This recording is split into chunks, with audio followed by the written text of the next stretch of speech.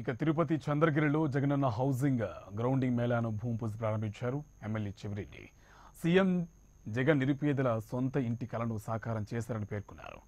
First ఫేజ్లో ఒకే రోజు నియోజకవర్గంలో ఆరు వేల రెండు వందల ఇళ్ళ నిర్మాణానికి శంకుస్థాపన చేశామన్నారు. ఇళ్ళ నిర్మాణం కోసం నూట ఇరవై కోట్లు ప్రభుత్వం ఖర్చు చేస్తుందని స్పష్టం చేశారు.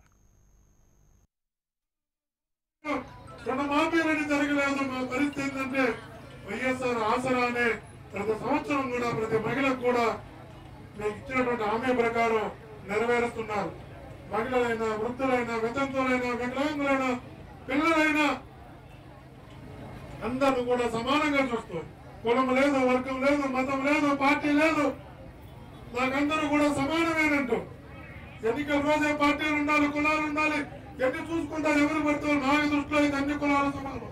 నా దృష్టిలో అయితే నా ప్రజలు అందరూ సమానమే అంటూ ఈరోజు జగన్మోహన్ రెడ్డి గారు అందరిని ఒక కుటుంబంలాగా చూస్తూ అనేక సంక్షేమ కార్యక్రమాలు మన ప్రజలకు అందిస్తున్న విషయం నాకన్నా కూడా మీకే ఎక్కువ తెలుసు.